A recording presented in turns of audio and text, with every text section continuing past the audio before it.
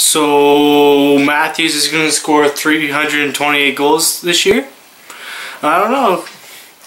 Yeah, but seriously, he looked really good. Obviously, getting the four goals, first player in NHL history to get four goals in his uh, debut. Um, that second goal, those hands were just amazing, and just the hockey sense that he uh, showed on all four goals were pretty special. Also, um, his back checking, although obviously that final goal in overtime, he didn't back check, wasn't quick enough, but uh, just getting back and make turnovers in the offensive and defensive zone through the, the whole night. Even if he just does that, obviously he's not going to score every game, but it just creates chances for his team. Um, Nylander had a couple opportunities because of Matthews. Um, but another player that looked really good, uh, didn't get on the score sheet, obviously, uh, Mitch Marner.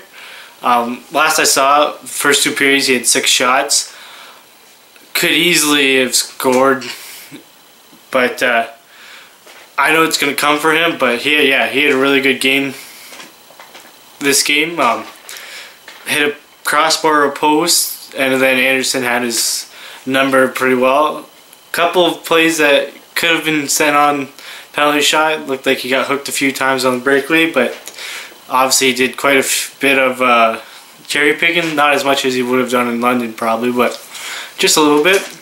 Um, another player that looked really well, had a quiet game, which is always good for a defenseman, was Nikita Zaitsev, another rookie for the team. Uh, played quite a few minutes, obviously, because Hunwick got injured in this game. Uh, but didn't look like he was out of place and uh, didn't hear too much bad stuff about him. He looked pretty good from what I saw. Um, Rielly looked like a really good uh, player. Got smoked in the third period. I think he had an assist in this game, and uh, obviously Andersen, Frederik Andersen, looked really shaky. Uh, first one he could have had, third one he should have had.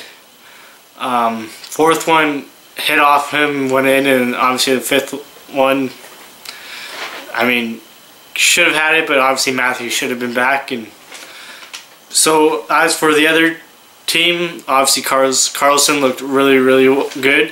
One goal, two assists. Uh, Anderson, I mean, obviously it weren't his fault. That second Matthews goal, he probably should have had. Um, Brassard got a point.